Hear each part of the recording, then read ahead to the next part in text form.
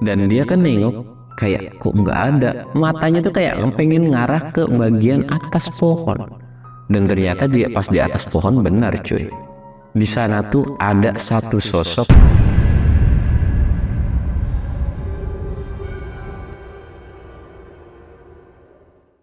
Assalamualaikum warahmatullahi wabarakatuh. Balik lagi di channel Samsul Mister Horror. Pada kesempatan kali ini Gua bakal ngebawain sebuah cerita Yang menurut gua banyak banget pelajarannya nih. Buat lu, lu yang nanti mau naik gunung Atau awal naik gunung Lu wajib dengerin cerita ini. Dan buat lu yang penasaran cerita apa Lu wajib pantengin video ini sampai habis. Dan buat lu yang mau support channel gua Jangan lupa like, comment, subscribe Dan share video gua ke banyak orang dan buat lu yang mau ikutan open trip juga, jangan lupa kunjungi ke Instagram gua yaitu samsul.1010. Dan gue usah banyak bacot lagi, kita mulai ke segmen dongeng horor. Dongeng horor dimulai.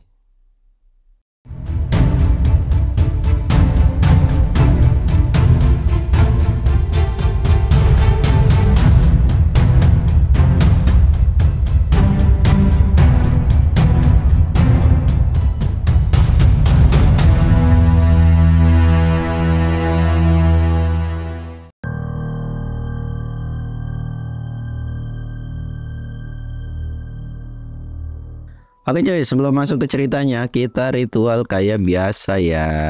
Kita nyebat-nyebat dulu. Aduh, gue lagi ngetekin itu lagi ada kabar berita duka cuy. Tanda gue kasih tahu ya kabarnya tuh apa gitu.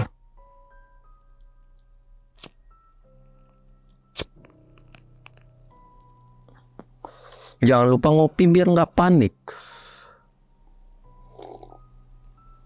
Jadi pas gue ngetek hari ini tuh baru dapat kabar berita duka. Maksudnya ya bukan uh, ini sih lebih ke ada yang meninggal di salah satu gunung yaitu Gunung Lawu dan pendaki itu tuh lewat jalur cetok dan yang apa sih ya sebelum kita bahas gitu gue mau bahas sedikit ya kita doain lah semoga si almarhum ini diterima amal ibadahnya ya dan semoga keluarga yang ditinggalkan juga uh, bisa mengikhlaskan kepergian anaknya gitu Nah, jadi yang gue tahu nih, gue baca-baca berita tentang kronologi dari si kejadian itu adalah si orang ini tuh naik 16 orang kalau nggak salah, iya naik, naik 16 orang atau 17 orang sama dia.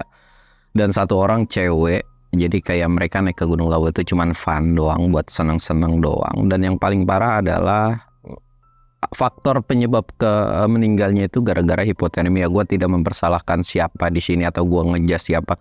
Tapi yang gue garis bawahi adalah ya lagi-lagi gue bilang gue setiap entah ngevlog atau apa pun gue ngomong tuh selalu bilang lu naik gunung silahkan dengan siapa pun tapi lu cari tim yang benar-benar bisa nge-backup lu gitu. Karena kondisinya yang lain mah pada summit dia tuh ditinggal sama salah satu atau ada satu temennya yang stay di situ gitu ya bagus sih maksudnya ya nggak masalah toh ada yang nih nemenin juga. Tapi lu juga harus tahu sebagai leader atau mungkin lu sering jadi ketua kelompok yang ditinggal ini tuh dia tuh paham gak kalau misalkan nanganin orang sakit tuh kayak gimana gitu. Dan gue juga uh, nge mau bilang kalau lu punya penyakit lambung ya ketika lu mendaki usahain banyak makan banyak nyemil. Lu kan bawa cemilan bawa yang namanya makanan di tas lu ya lu makanin. Kalau lu udah sadar dengan lu punya penyakit lambung gitu. Dan lagi gue juga sempet pernah bikin post di Instagram. Itu kalau nggak salah tentang ya kayak nyindir nyindir orang pada gue nggak nyindir ya. Dan di situ tuh ada masa masak nasi uh, naik gunung tapi nggak bisa masak nasi. Bro naik gunung ya gue tahu misalkan ada beberapa orang yang bahkan bikin es buah makanannya enak-enak daging ayam dan lain-lain. Bukan perkarain gue masalah masak mie enggak. Tapi ketika lu naik gunung stamina lu habis dan stamina itu harus diganti atau di backup dengan stamina yang baru. Ya salah satunya dengan makanan yang enak gitu makanan yang banyak proteinnya makanan yang ada vitamin dan lain-lainnya gitu. Jadi ya nggak permasalahan lu mau makan mie makan mie. Tunggu juga uh, mie itu selalu bawa ketika mendaki tapi itu bukan makanan pokok gua. Ada makanan yang lebih pokok buat ngeganti stamina gua ketika udah capek mendaki. Jadi gitu loh. Dan jadi ketika lu ngeliat, ngeliat berita itu baca juga apa isi beritanya kenapa bisa kayak gitu. Jadi jangan perkara lu ngeliat terus lu kasih terus tiba-tiba orang tua lu juga ngeliat wah ini meninggal lagi di gunung nih. Ya nggak juga lu baca dulu kronologinya gitu. Jadi lu tahu juga bahayanya di gunung tuh apa gitu ya. Dan ya buat lu yang pengen naik ya wajib lah. Gue selalu galak banget dengan hal lu pilih tim yang bener dan naik gunung wajib usahain makan terus nyemil terus biar agar sedikit minim terhindar dari hipotermia ya udah gue cuman mau ngasih saran itu doang sih gue nggak akan terlalu panjang komentarin tentang kejadian tersebut dan oke okay, kita bakal lanjut lagi nih uh, kita sebut aja ceritain itu atau tokoh utama kita itu namanya Tole gitu ya Nah, si Tole ini pada saat itu tuh dia lagi kumpul-kumpul dengan beberapa temennya, coy. Ya, nongkrong-nongkrong atau nongki-nongki gitu kan. Kumpul-kumpul singkat ceritanya udah ngumpul ya banyak orang. Ya, Tole ini ngobrol dong, maksudnya kayak ngaler gitu, ngobrolin masa depan lah, ngobrolin hal-hal yang agak jelas lah, ngegibahin orang dan lain-lain. Sampai akhirnya ada salah satu temennya yang bisa gua bilang si temennya ini uh, punya kekurangan atau dalam arti uh, cacat fisik gitu. Maksudnya ya kakinya nggak ada sebelah gitu ya pakai tongkat gitu kan dia baru datang lah baru datang akhirnya ya diledekin lah sama anak-anak. Bukan perkara masalah fisik tapi ya kayak wah nih ngaret bla bla bla orang sibuk sulit gitu kan. Dan sampai akhirnya si orang ini kita sebut aja namanya Kiki ya. Kiki ini cowok.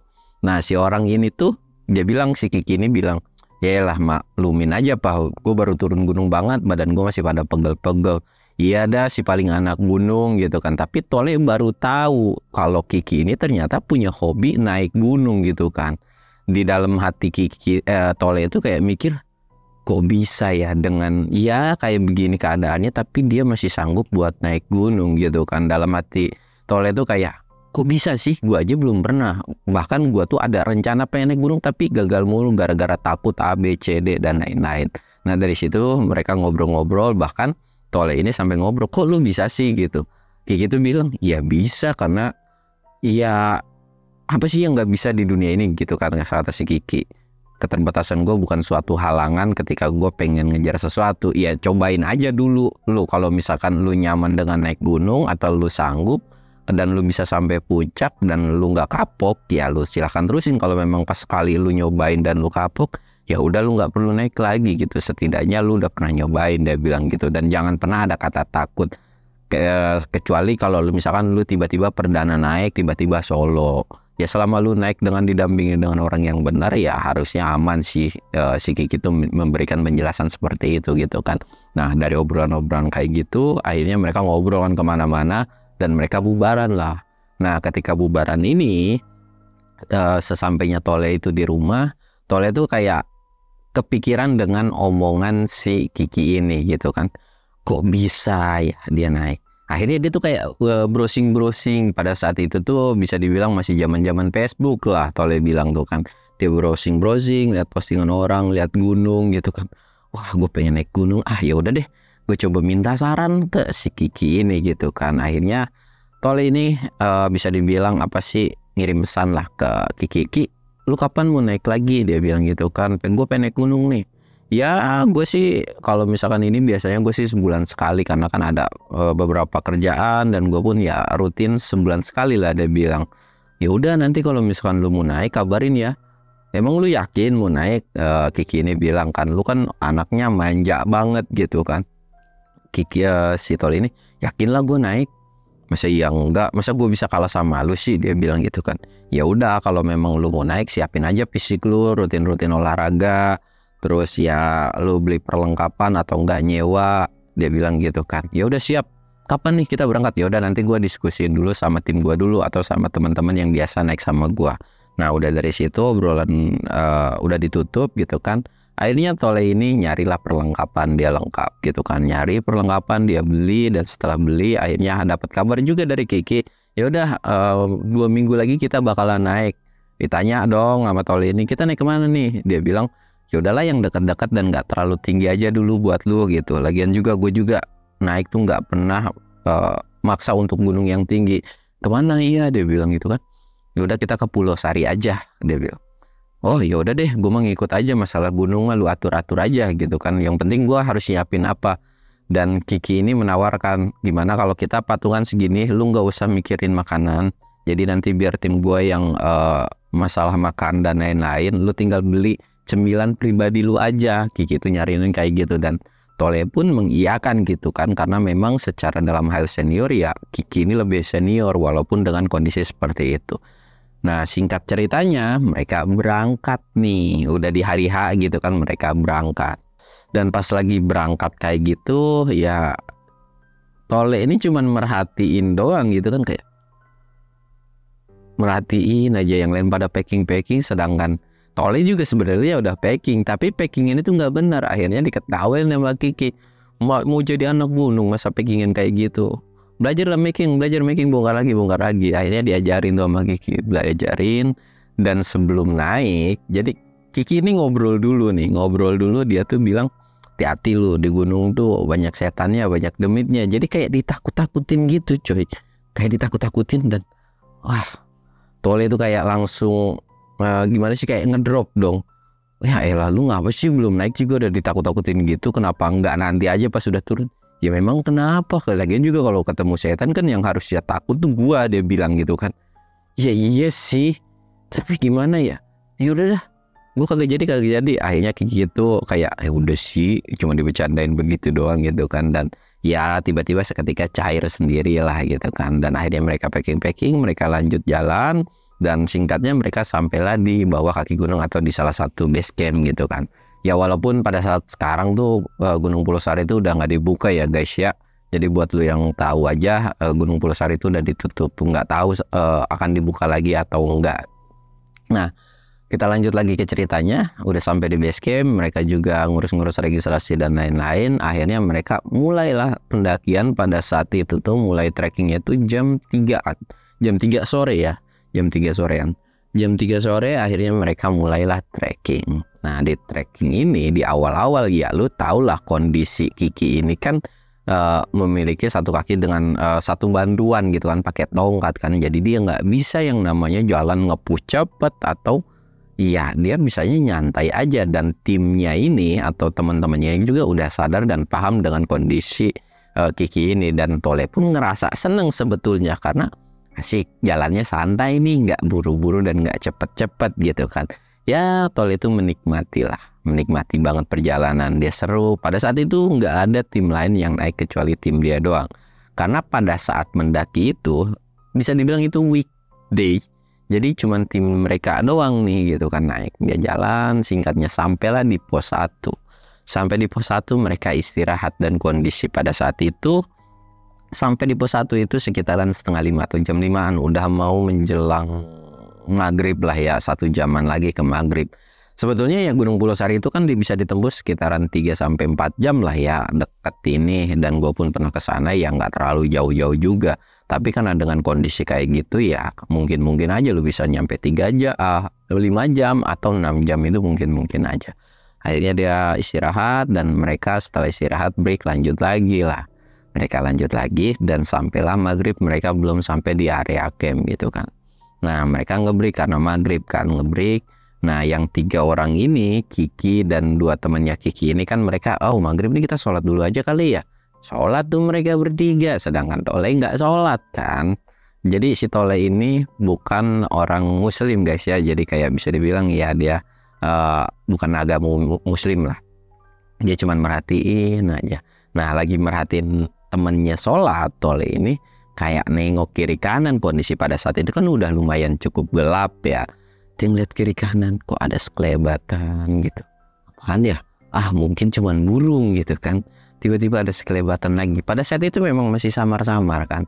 Akhirnya dan kondisi pada saat itu juga ngeliat sekelebatan tuh Tole itu belum yang ngeluarin namanya headlamp atau lampu gitu ya. Dia kayak ah gue ngambil lampu ah pengen tahu apa tuh yang sekelebatan gitu kan. Pada saat itu juga Toli nggak mikir yang macam-macam cuy, nggak mikir aneh-aneh tentang demit atau setan apa pun. Dia ngambil headlamp dan pas lagi ngambil headlamp kedengeran lah suara kuntilanak cuy. Itu ketawa dan ketawanya tuh nggak yang terlalu nyeremin sih menurut Toli itu kayak samar-samar doang gitu kan. Suara apa ya? Kok ada yang kayak ketawa gitu kan. Ah, bodo amat deh. Karena suaranya tuh kecil banget kecil tapi kedengeran jelas jadi pas ngambil kedengeran lagi. Dan makin ke sini setelah headlampnya udah dipasang di kepala kok tiba-tiba ada suara ketawanya tuh makin kenceng dan makin deket kan? Sedangkan temen-temennya tuh masih belum selesai sholat gitu. Oh, belum selesai sholat bukan anak-anak juga. Siapa dok dan nengok kiri kanan sampai akhirnya suara itu bener-beneran kenceng.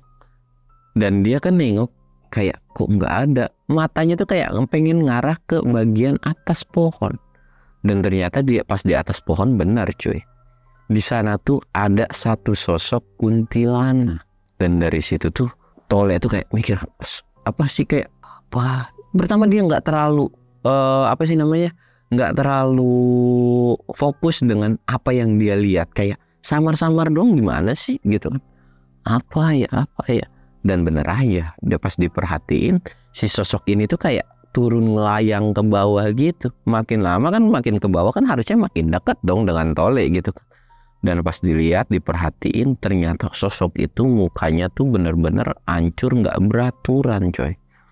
Dan nyeringai kayak sambil ketawa nyeringai ngelihat ke tole. Tole langsung ki Ki buruan Ki sholatnya Ki gue takut Ki gue takut Ki gitu kan. Dan gak lama Ki itu langsung nembak. Lu kenapa sih kayak orang ketakutan gitu? Itu ada ada ada apaan? Itu ada yang terbang terbang dia bilang. Itu apaan terbang terbang gitu. Ki gitu kayak nanggepin apaan sih yang terbang? Burung kelawar atau apa? Superman dia bilang gitu kan. Ah lu udah nggak usah bercanda deh ini di gunung nih udah malam juga. Itu apaan yang terbang terbang nah kebetulan Kiki ini bisa dikatakan orang yang rabun jauh lah. Jadi kalau dia ngeliat sesuatu hal yang jauh itu dia nggak terlalu jelas. Nah, sedangkan kedua temennya itu cuek gitu kayak udah biasalah di gunung ngelihat suatu penampakan mungkin karena faktor kecapean atau apa kayak ngalu gitu bodoh amat gitu. Nah, si Kiki itu karena memang temennya gitu kan jadi kayak udahlah nggak usah ditanggepin biarin aja sosok kuntilanak kayak gitu mah. Dan lu nggak ngeliat itu di depan kita ya gue gimana ngelihat gue kan punya rabun jauh dia bilang. Dan dari situ toleh kayak baru kan anjir iya dong. Ini orang kayaknya dikasih spesial banget naik gunung ya. Maksudnya ngelihat sesuatu hal yang jauh tuh nggak bisa ngelihat gitu kan. Ya terus gimana nih? Gue takut. Dan akhirnya ditanya lah Kiki ini ke temennya lu ngeliat? Temennya tuh bilang enggak gue nggak ngeliat apa-apa. Ah masa sih bang? Lu nggak ngeliat? Nggak ngeliat? Gitu kan. Beneran gue nggak ngeliat. Dan ternyata di situ tuh uh, nggak tahu temennya si Kiki ini ngelihat apa enggak tapi pada saat itu memang Kiki ngelihat gitu. Dan sosoknya ini terus merhatiin kelompok mereka. Dari situ udah yuk kita lanjut kita lanjut. Nah mereka lanjut lah. Ternyata sosok kuntilanak ini makin lama makin ngedeketin jalur atau dari trek mereka. Yang awalnya Tole ini bersemangat tapi tiba-tiba kayak ciut dan dia tuh megangin salah satu carrier atau ya tasnya dari si temannya Kiki ini. Pegangin aja. Apa sih bang? Lu takut banget. Bang itu kuntilanaknya kok uh, kayak ngedeket ke jalur kita ya? Mana? Nggak ada nggak ada gitu. Si tiga orang ini nggak ngelihat. Si tiga orang ini nggak ngelihat gitu. Tapi mereka ya jalan aja nyantai. Karena ritme jalan mereka itu lama kan? Kayak santai banget. Ya otomatis ngelewatin si Kunti ini kan pelan-pelan banget gitu. Nah singkatnya sampailah uh, kayak papasan dengan si sosok kuntilanak gini cuy. Sampai sedangkan si Tole ini masih ngadep begini cuy. Jadi kayak takut aja gitu kan. Dan lu tahu pas lagi jalan gitu dia nggak mau nengok ke sebelah kiri kan. Dia tuh dipegang. Jadi kayak ada yang megang uh, bagian ininya punduk. Dan itu dingin banget.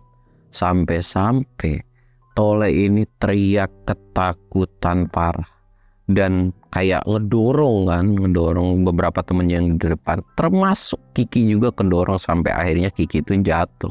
Dan pas lagi jatuh kayak gitu akhirnya ditenangin lah sama beberapa temennya si Kiki ini.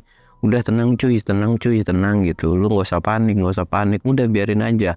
Lu kan di sini naik ya kita bertiga gue nggak bakal ninggalin. Dan Kiki pun memaklumi tentang apa yang dialami sama temennya itu gitu kan kayak udah lu santai santai santai gitu kan. Udah insya Allah nggak apa-apa kok nggak apa-apa. Dan dari situ uh, Kiki ini bilang lu istighfar istighfar istighfar. Nah pas lagi spirit kayak gitu kan gue Kristen cu dia bilang gue agama lain. Dari situ ya akhirnya terpecah tuh gara-gara kayak gitu. Akhirnya ya mereka ketawa-ketawa dan temennya Kiki pun baru tahu bahwa uh, si Tole ini ternyata adalah non muslim gitu kan. Akhirnya di situ ketawa dan singkatnya si sosok kuntilanak. Itu nggak ada nih dan mereka ngelanjutin lah perjalanan. Singkat ceritanya jam 9 mereka sampai di area camp. Nah ketika uh, mereka sampai area camp tuh mereka udah nggak diganggu lagi dan menurut pengakuan Tole pun nggak ada sosok penampakan yang aneh-aneh lagi kan? Nah sampai di area camp mereka ngedirin tenda dan mereka masak-masak mereka pun. Ya pada saat itu Kiki juga bantuin lah kecuali Tole doang yang memang buta banget dalam hal pendakian. Dia bingung mau ngapain jadi uh, yang lain pun nyuruh udah lu diem aja nah, yang penting nanti pas udah makan kita makan bareng aja. Ya udah dia cuma merhatiin aja. Pas lagi merhatiin kayak gitu uh, Tole ini kan kebelet pipis nih dia kebelet pipis. Dia bilang eh gue mau pipis anterin yuk. Nah sedangkan yang dua kan lagi sibuk masak Kiki juga lagi bantuin. Jadi kayak sungkan sebenarnya. Sebenarnya yang nggak terlalu sibuk itu Kiki kayak sungkan. Karena kan kondisi Kiki ini kayak begitu kan. Aduh gua kayak enak akhirnya Kiki tuh bilang ya udah lu pipis tuh di belakang tenda tapi agak jauhan ya minimal 10 sampai 15 langkah lah dari tenda gitu kan. Nggak apa-apa nih nggak apa-apa. Ya nggak apa-apa lah dia bilang yang penting jangan deket tenda nantinya bau pesing tenda kita. Ya udah tapi lu liatin ya. Iya gua liatin dia bilang kan. Akhirnya si Kiki ini agak ngegeser keluar juga dan ngeliatin uh, Tole yang lagi pipis kayak jalannya gitu kan. Nah pas lagi Tole jalan itu, nah dari situ kan kesenterin dan lumayan kelihatan juga sama temannya tuh ditegur. Majuan lagi lah itu terlalu deket banget lu baru jalan dua langkah tiga langkah lu tiba-tiba mau pipis deket tenda agak jauhan lagi agak jauhan tuh deket pohon deket pohon kata temannya si Kiki tuh. Ya kejauhan kejauhan udah di sini aja lah gue kebelet banget. Udah disonokan ini di sini diliatin juga. Ya udahlah tolnya itu ngalah kan lanjut lagi dia jalan dekat salah satu pohon. Pohonnya ini lumayan cukup gede cukup besar juga. Dia pipis di situ dia sambil nengok kiri kanan kan? Dan ngelihat ke belakang. Ternyata memang di belakang masih nyenterin. Nah dia pipis lah buka celana gitu kan. Pipis baru setengah jalan pipis. Tiba-tiba di belakang dia tuh kayak ada yang niup. Jadi kayak ada yang niup bagian kuping dia atau punduk dia gini gitu dia kayak merinding gitu padahal pipis dia belum selesai gitu kan. Duh, siapa sih tiba-tiba ada angin eh, nggak uh, jelas sepoi-sepoi begini kan? Nah dia lanjut lagi pipis Selesailah dia pipis. Ada yang niup lagi Merinding lagi Dia kayak eh gitu kan. Dia baru tuh nengok Set. Dan pas lagi pipis lu tahu ternyata di belakang dia itu ada sosok kuntilanak cuy. Lagi merhatiin atau melototin si Tole ini. Dari situ Tole langsung teriak kuntilanak gitu kan teriak-teriak tolongin woi tolongin tolongin ini ada kuntilanak kuntilanak. Nah sedangkan Kiki yang merhatikan dia kan punya penyakit yang namanya rabun jauh kan nggak terlalu merhatiin juga dan nggak lihat. Jadi ya cuek-cuek aja. Udah sih kunti dari mana lu kencing uh, penakut banget sih jadi manusia gitu kan udah gede juga. Udah udah balik balik balik. Nah pada saat itu ternyata dua temennya juga langsung fokus kan ke sana.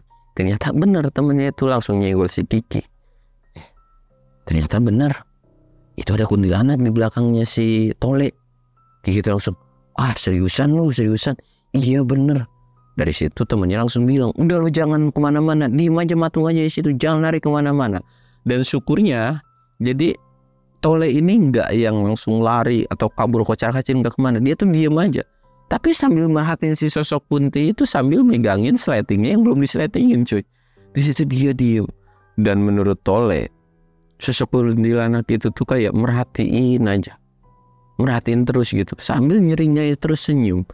Dan saking ketakutannya tiba-tiba kuntilanak ini yang tadinya cuma diem nih nggak ngeluarin suara apa-apa tiba-tiba cekikikan ketawa dan langsung terbang ke atas. Ber terbang ke atas gitu kan. Dari situ baru tuh. Tole itu pergi ninggalin pohon tersebut atau area kancing tersebut dan pontang panting ke area tenda. Bahkan itu sampai nendangin kopi dan dia langsung masuk ke dalam tenda. Dengan napas yang lumayan kecapean kan. Anjir itu apaan? Kenapa tiba-tiba bisa ada sosok kuntilanak di situ sih? Dan dari situ temennya jelas mungkin di situ rumahnya kali lu kencingin atau lu pipisin dari situ Kiki bilang nah lu kagak permisi permisi ya ya ya lah mana gue tahu sih emang kalau kita pipis ada permisi-permisi ya Ya kan gua nggak tahu. Iya setidaknya kata Kiki itu di situ kan ada binatang mungkin semut, ada rumahnya semut atau belalang atau apalah, ada tikus hutan. Ya setidaknya permisi lah kasihan takut ada rumahnya keganggu juga sama kencing lu yang bau itu. Ya gua nggak tahu dah. Iya dah besok-besok gua bakal permisian lagi dia bilang gitu kan.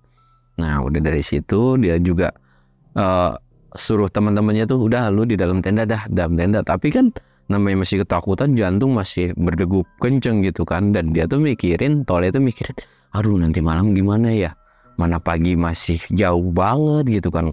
Dan tole itu kayak berpikiran gue bisa tidur apa enggak malam ini? Dan semoga dia tuh nggak digangguin pada saat malamnya. Ya udah dari situ akhirnya mereka makan-makan nih kan mereka makan-makan dan udah dari situ pun tole itu kayak pamit eh gue tidur duluan ya tidur duluan. Ya udah lu tidur gitu duluan sono. Nah akhirnya tidur duluan tuh Tole tuh. Udah sedangkan mereka bertiga termasuk Kiki itu ya masih ngobrol-ngobrol aja. Dan Kiki ini kayak ngomong. Dan ternyata Tole ini nggak bisa tidur. Jadi kayak ngedengerin si ya teman-temannya yang ngobrol di luar lah. Lu beneran ngeliat Kunti? Iya beneran tadi ada. Dan kayaknya sih sosoknya masih nempel di pohon. Ah, lu sih punya penyakit kayak begituan jadi nggak bisa ngeliat. Ya kata Kiki tuh alhamdulillah dong, gua kagak bisa ngeliat begituan. Jadi gue nggak tahu sosok penampakan. Ya nggak apa-apa lah kalau masalah ngomong-ngomong doang atau suara-suara ketawa cekikikan bodoh amat dah yang penting nggak ngeliat kan? Iya sih kata si temennya itu. Terus gimana nih? Ya udahlah kata temennya Kiki tuh biarin aja kayaknya uh, sosok ini juga nggak terlalu ganggu. Ganggunya tuh dalam arti nggak yang neror kita ya cuma sebatas ya mungkin itu rumahnya atau mungkin itu habitatnya udah biarin aja mereka ngobrol panjang lebar sampai lah jam 12 malam atau hampir jam satuan lah. Nah mereka pun akhirnya tidur nih kan. Yaudah yuk kita masuk ke dalam tenda. Mereka tidurlah ke dalam tenda. Mereka tidur dan kondisi pada saat itu Kiki ini kebagi eh Tole ini ke bagian-bagian pojok lah. Bagian pojok. Sedangkan di tengah-tengahnya tuh ada Kiki ada teman-temannya gitu kan. Nah pada saat itu uh, Tole tuh eh lu baru mau tidur ya? Mereka ketiga temannya kayak heran. Lah lu kebangun. Toilet tuh bilang gue belum tidur gue nggak bisa tidur nih. Udah lu ngobrol lagi kan sampai pagi sampai pagi dia bilang. Ya elah gue udah ngantuk banget. Udah lu coba apa sih namanya uh, merem-meremin ntar juga bisa tidur kok. Apalagi kita udah naik kan udah capek. Aduh tapi jangan dulu. Dan akhirnya ada salah satu temannya dia bilang udah tenang gua temenin tapi sambil rebahan ya ambil rebahan. Ya udah bener ya iya. Iya akhirnya Udah tuh mereka kan sambil ngerembah nih. Dan pada saat itu juga Tole ini ngobrol, ngajak ngobrol kan ngobrol panjang. Dan si satu temennya yang mengiyakan ini dia tuh cuma kayak uh, nembal ini uh, uh, jadi kayak matanya mungkin udah ngantuk tapi kayak uh, uh, dan singkatnya ngobrol panjang tiba-tiba nggak ada yang nyautin gitu kan kok nggak disautin ya sama temennya si Kiki gitu kan? Bang bang lu tidur. Dan pas dicek kelihatan yang dilihat Hamad Tole itu matanya masih melek. Jadi kayak masih lirik alha apa maksudnya? Syukurlah lu masih melek gitu kan. Gue kira lu tidur bang. Udah tuh ngobrol lagi.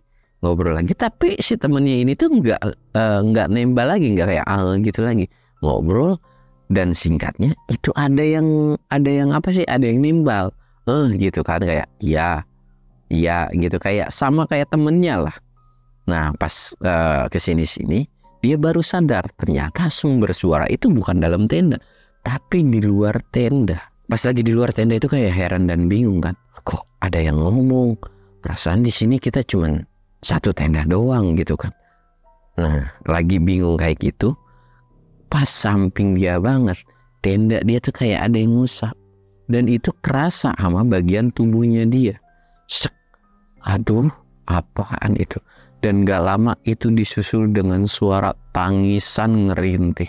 Dari situ tolek panik dong dan ngebangunin semua temennya yang di situ termasuk Kiki bang bangun bang bangun bang. Di sebelah gua ada setan di sebelah gua ada setan gitu kan. Akhirnya mereka pada bangun dong. Pada bangun dan pas bangun apaan sih? Apaan lagi? gitu. Tadi di sebelah ada yang nangis nangis nih gini gini mereka bertiga langsung ngedengerin kan. Ah nggak ada nih nggak ada lu ngalu ngalu dan dari situ udah lu tidur di tengah ada tidur di tengah. Tidurlah di tengah. Nah pas lagi tidur di tengah mereka udah ditenangin lah si Tole ini gitu kan. Mereka mau coba tidur lagi. Dan bener aja ketika mereka yang lain juga belum pada tidur, beneran ada suara ngerintih nangis. Oh gitu kan. Nah dari sini tuh kan bener ada suara nangis. Dan dari situ temennya tuh bilang udah diem aja kalau lu takut udah diem gitu. Akhirnya ngedengerin orang nangis tuh dan karena Kiki juga pengen tidur kan Kiki itu kayak nagor udah apa lu kalau mau nangis deket pohon lu aja jangan deket tenda gua dia bilang gitu kan. Udah pergi-pergi temen gua takut nih gue di sini nggak ganggu sorry kalau misalkan temen gua kencing di bagian area rumah lu. Udah lu pergi ke sana lu kalau mau ngopi lu bikin sendiri yang penting lu jangan bikin kegaduhan dan lain-lain pada saat itu. Dari situ tuh kayak di, uh, dalam hati itu dia orang saklek apa gimana ya tiba-tiba setan diajak ngomong disuruh pergi disuruh ngopi bikin sendiri. Dari situ tuh aneh lu dia bilang. Udah tidur.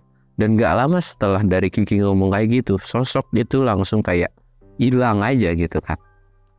Nah udah dari situ dan singkatnya akhirnya bisa tidur. Bisa tidur dan mungkin kayak mereka uh, tol ini tidur tuh nggak tahu kan jam berapa. Dan tiba-tiba subuh ya yang lain juga pada sholat subuh kecuali tole enggak kan. Dan pas udah itu mereka tidur lagi dan dibangunin lah tole. Le le le bangun bangun bangun bangun. Udah pagi nih udah pagi kita foto-foto. Ayo foto-foto lu. Katanya kan lu mau ngerasain foto-foto di gunung foto-foto. Ya walaupun sedikit dengan ekspektasi apa sih namanya masih ngantuk pengen masih tidur gitu kan. Mau nggak mau deh bangun. Dan pas kebangun tuh kayak sejuk seger ya walaupun Gunung Tampomas itu tidak memiliki view yang bagus-bagus banget ya dalam hal di puncak itu. Dia udah bangun dia foto-foto akhirnya masak-masak ngopi-ngopi dan dari situ pun tole ceria banget. Dan dari situ walaupun pada saat malamnya dia diteror dengan sosok kuntilanak tapi kayak ya seneng aja gitu. Dan pas dari situ pun memang udah nggak ada kejadian apa-apa. Dan Kiki tuh ngasih kayak uh, sharing-sharing lah tentang soal pendakian, pentingnya pendakian tuh kayak gimana, cara ngatasin kalau dapat kejadian kayak gitu gimana. Pokoknya banyak banget pelajaran yang Kiki kasih ke Tole pada saat itu. Dan setelah dari kejadian itu uh, mereka juga turun kan nggak sekitaran jam 10 atau jam 11 mereka turun dan alhamdulillah memang tidak ada kejadian apa pun lagi.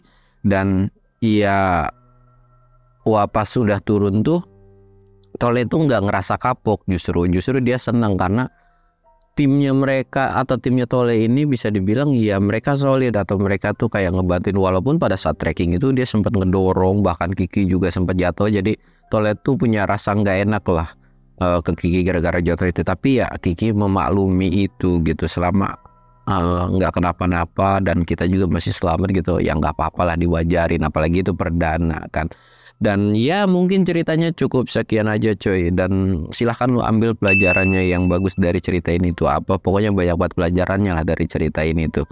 Dan yang buruknya silahkan lu buang. Gua Samsul undur diri. Assalamualaikum warahmatullahi wabarakatuh